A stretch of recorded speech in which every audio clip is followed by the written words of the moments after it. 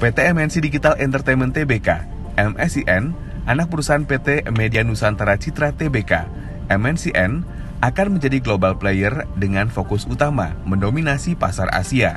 Saat ini, MSIN adalah perusahaan publik berbasis digital yang memiliki EBITDA dan laba nomor satu tertinggi di Indonesia.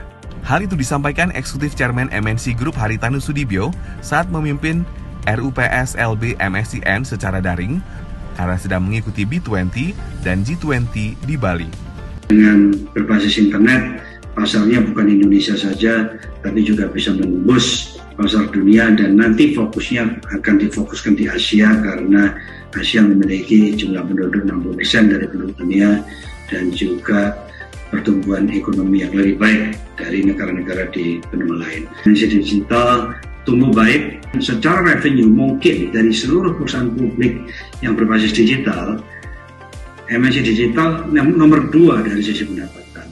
Tapi nomor satu dari sisi EBITDA laba maupun cash flow. Banyak digital company konsepnya bakar duit untuk memperoleh top line yang tinggi revenue yang tinggi tapi uh, kami tidak percaya. Bisnis tetap harus uh, fokus memastikan cash flow juga tumbuh dengan baik.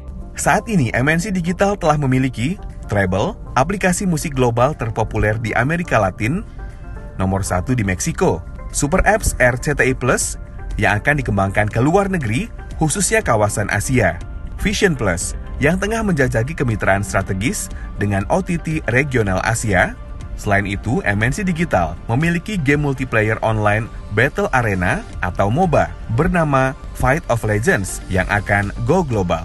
Ada kabar baik, mudah-mudahan minggu depan Fight of Legends akan diluncurkan pertama kali di Indonesia, kemudian nanti akan berkembang di Southeast Asia, kemudian akan dikembangkan ke Asia dan kemudian akan going global.